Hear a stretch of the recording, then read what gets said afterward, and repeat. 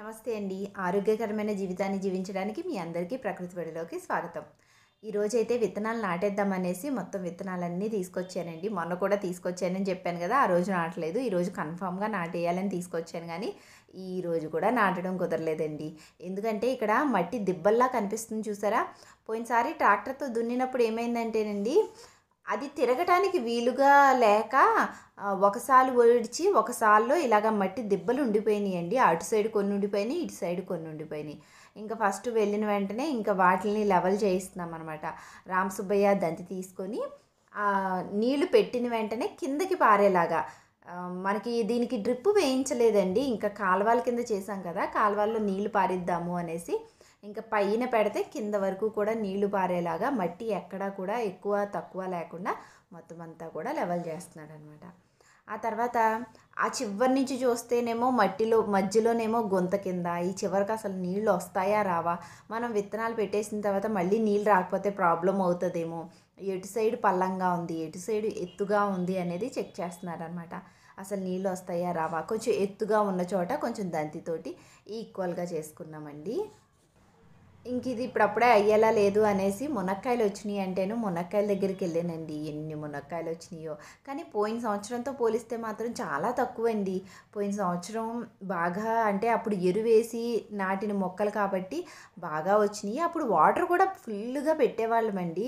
ఇప్పుడు డ్రిప్ వల్ల కొన్ని కొన్ని నీళ్ళే పడుతున్నాయి అనమాట మునగ చెట్టుకి ఆ కొన్ని నీళ్ళు సరిపోవట్లేదో ఏమో తెలియదు లేకపోతే బలం లేకో కానీ కొన్ని అయితే బాగానే వచ్చినాయి. ఒక చెట్టు అయితే బాగానే వచ్చింది కానీ మిగిలిన చెట్లు మాత్రం సరిగ్గా రాలేదండి. అసలు కాయలు సరిగ్గా లేవు. ఇదిగో చూసారా? అసలు ఆకులు కూడా రాలిపోయినాయండి అప్పుడే.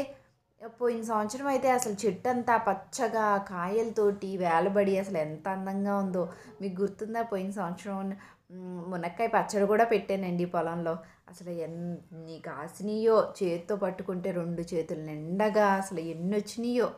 సో ఈసారి కొంచెం తక్కువ అండి పోయినసారితో పోల్చుకుంటే ఈసారి తక్కువే. మరి నీళ్ళు సరిపోక రాలేదో లేకపోతే మరి బలం లేక రాలేదో కానీ ఏం వేయలేదులేండి వీటికి కూడా. అసలు ఎరువు కూడా అసలు ఏం వేయలేదు. ఎరువేసి ఉంటే ఇంకొంచెం బాగా వచ్చేవేమో. నీళ్ళు కూడా తక్కువగా అంటే డ్రిప్ నుంచి పెడుతున్నాం కదా అందుకనేసి తక్కువగా వెళ్ళినట్టున్నాయి. పోయినసారి అయితే ఇంతకుముందు అయితే పైపులతోటి దీన్ని నిండగా దీన్ని నిండగా పట్టేవాళ్ళం అనమాట సో అన్ని నీళ్ళు పట్టేటప్పుడు బాగా అసలు విపరీతంగా కాయలు వచ్చినాయండి. అసలు ఇట్లా పట్టుకుంటే ఇట్లాగా మొత్తం రెండు చేతులు కలుసుకొని అన్ని కాయలు వచ్చినాయి అనమాట అప్పుడే ఇక్కడ మునక్కాయ పచ్చడి కూడా పెట్టాను కదా. సో చాలా వచ్చినాయి. అప్పుడు ఈసారి మాత్రం కొంచెమే వచ్చినాయి. ఇంకా పూత ఉంది. అటు సైడ్ చెట్లకి అసలు కాయలేదండి ఇటు కా ఇటు చెట్లకే కొంచెం ఈ చెట్టుకే. మొత్తం ఆరు చెట్లు ఉన్నాయి. ఆరు చెట్లు అవతల మూడు చెట్లు కానీ ఈ చెట్లు కానీ అసలు పెద్దగా ఏం కాయలేదు. ఈ చెట్టుకే బాగా ఎక్కువ వచ్చినాయి అనమాట చూద్దాం. ఈసారి కొంచెం ఎరువేసి ఇంక ఇప్పుడు కాయదేమో కానీ ఈసారి కన్నా సరే కొంచెం బలంగా అయితే చెట్టు ఇంక అప్పుడు కాస్తుందేమో. ఈసారికి మాత్రం ఇవే. కానీ ఇంకా ఉన్నాయిలే. పిందెలు ఉన్నాయి. ఇంకా వస్తాయి కానీ అప్పుడే ఎండిపోతుంది. ఈ చెట్టు ఆకులన్నీ కూడా రాలిపోతున్నాయి. పోయిన సంవత్సరం అయితే అసలు మేము ఈ కాయలన్నీ కోసిన తర్వాత కూడా పచ్చగా ఉండి ఆ తర్వాత ఎండిపోయింది. కానీ ఈసారి మాత్రం పండిపోయి రాలిపోతుంది. మేబీ బలం లేకేమో. పాపం ఏమీ ఇవ్వలేదు అప్పటి నుంచి కూడా దీనికి.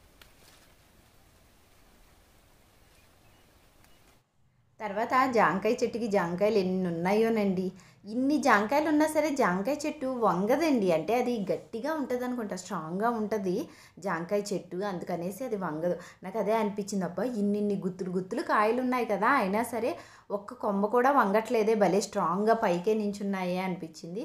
సో జాంకాయ చెట్టు గట్టిగా ఉంటుంది అనమాట స్ట్రాంగ్గా ఉంటుంది.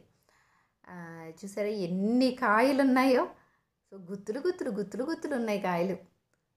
కాకపోతే అన్నీ కొంచెం పచ్చిగా ఉన్నాయండి. కొన్ని అయితే దోరగా వచ్చినాయి. సర్లే నెక్స్ట్ టైం కోద్దాంలే అనేసి ఇంక ఈసారి అయితే కొయ్యలేదు. ఇదిగో చూడండి. ఇదిగో కింద కూడా కింద కూడా కొమ్మ కిందకి వాలిపోయి కింద కూడా కాసినాయి. ఎన్ని కాయలు ఉన్నాయో ఇవి చూడండి ఎన్ని ఉన్నాయో మరీ చిన్న చిన్నవండి. ఇవి పిందెలు. మరీ చిన్న చిన్నగా ఉన్నాయి. ఈసారి వచ్చినప్పుడు జాంకాయలే జాంకాయలండి. ఆ తర్వాత చుక్కకూర వదిలేసాం కదండి చుక్కకూర మీరందరూ కూడా చెప్పారు. పైవన్నీ కూడా కట్ చేసేయక్క అప్పుడు ఎక్కువ ఆకులు వస్తాయి మళ్ళీ చిగుర్లు వస్తాయి అని చెప్పారు కదా. కానీ అప్పటికే వదిలేసామండి. అప్పటికే విత్తనాలు తీద్దాము అనేసి ఇంక వదిలేసాము. అందుకనేసి ఆ, విత్తనాలన్నీ కూడా బాగా ఎండిపోయినాయి. నేను వెళ్ళి చూశాను. అంటే వాటిలో గింజలు ఉన్నాయో లేదో ఊరకనే అవి ఉండిపోయి మీ అంటే చాలా రోజులైంది కదా. అసలు ఉన్నాయా లేదా అని చూస్తే పట్టుకుంటే లోపల గింజ తెలుస్తుందండి. గట్టిగా గింజ ఉంది. అందుకనేసి ఇంక ఇవన్నీ కూడా కోసాను. చాలా కోసానండి. అసలు ఇన్ని విత్తనాలు వస్తాయా చుక్క కూరకి? మనకేమో పది రూపాయలకి కొంచెమే ఇస్తారు కదా. అబ్బా ఎన్ని విత్తనాలు తయారు చేయొచ్చు? ఎన్ని డబ్బులు వస్తాయి? ఇవన్నీ అమ్ముకుంటే అనిపించింది. సో చాలా వరకు ఓపిక ఉన్నంత వరకు కొంచెం బాగున్నంత వరకు మొత్తం కోసానండి. చుక్కకూర విత్తనాలు చాలా కోసాను. చాలా వదిలేసాను కూడా. అంటే ఇంకేం చేసుకుందాంలే ఇవన్నీ కోసుకొని ఒక కయ్య మొత్తం వస్తాయి కోసిన వరకు అనేసి ఇంక అంతవరకు కోసానండి. చాలా ఎక్కువే కోసానులేండి.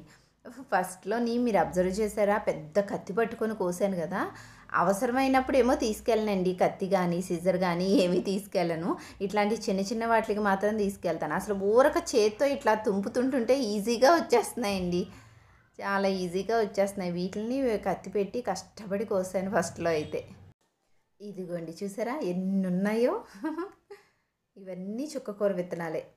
ఇంక ఇవన్నీ ఇంటికి తీసుకెళ్ళిన తర్వాత సపరేట్ చేశానండి. అంటే మనం నాటడానికి ఒక్కొక్క గింజ వేయాలి కదండి.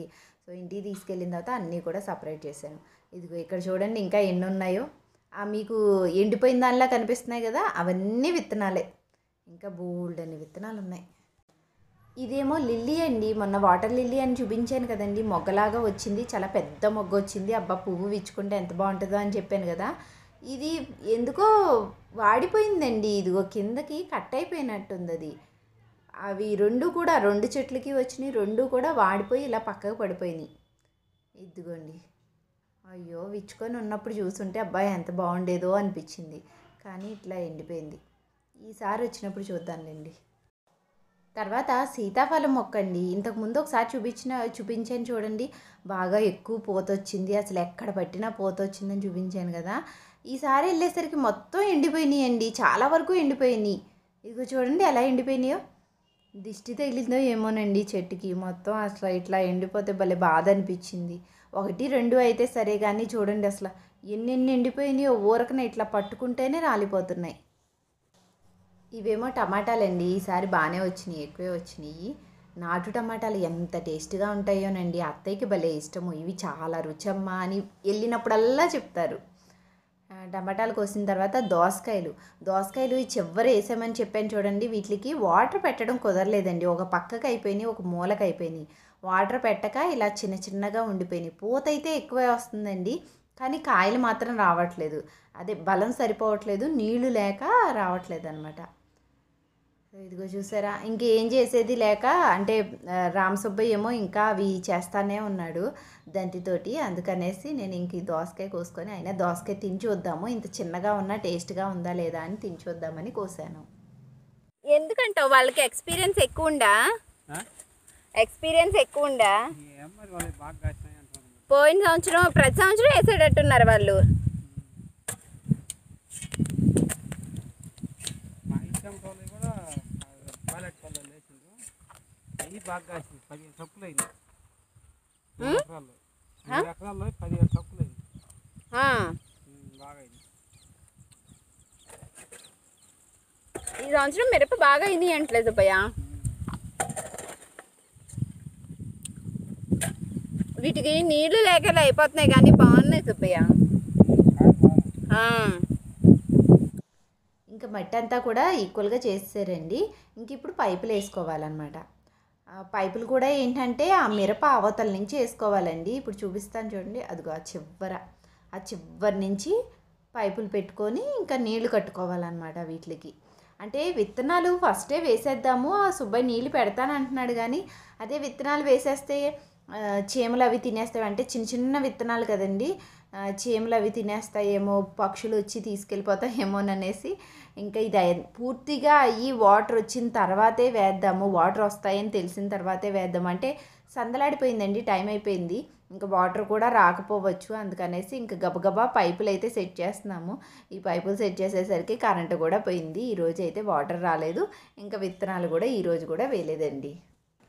అక్కడ దాకా స్ట్రైట్గా పెట్టామండి. ఇంకా అక్కడి నుంచి వంక బెండ్ పెట్టి ఇంకా ఇటు సైడ్కి ఈ పక్కకంతా కూడా పైపులు సెట్ చేస్తున్నాడు అనమాట రామ్ సుబ్బయ్య.